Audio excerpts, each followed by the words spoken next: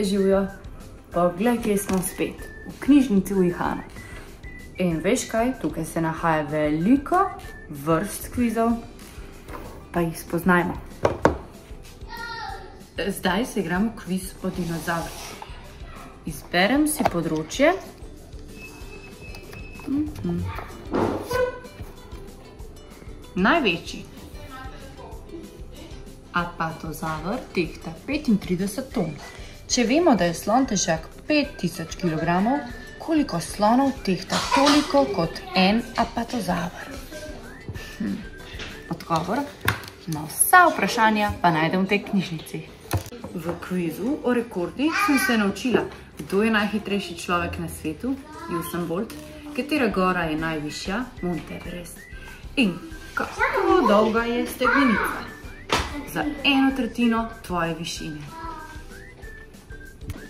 Zdaj pa se igram kviz o živalih na kmetiji. V tem kvizu zbiraš točke. Če si izbereš prvo vprašanje in nam odgovoriš prav, dobiš eno točko, na drugo dve točki in na tretjo tri. Hm.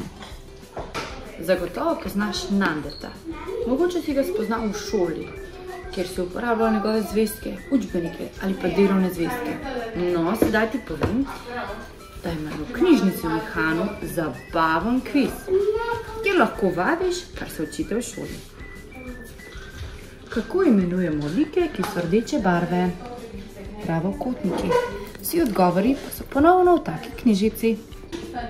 V knjižnici v Ihanu imajo prav posebno mizo, kjer lahko najdeš zanimive nove igrače. In tam se našla še dva kviza. Kviz okoli sveta, ki govori o vsakdanjem življenju, spomenikih, rekordih, čudežih narave, podnebjih in celinah, mestah in prestolnicah in pa ljudeh in običajih. Ponovno se v njem nahaja knjižica z odgovori in prav tako kviz o človeškem telesu. Vse od čutil do kosti in mišic. Izberem si človeško telo.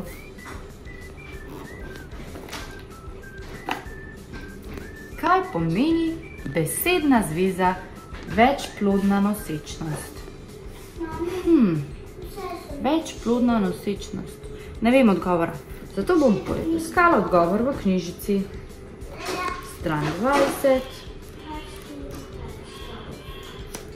Večplodna nosečnost pomeni, da se bosta rodila dva dvojčka. Danes smo spoznali kvize. Hvala ti za ogled. Se vidimo naslednjič.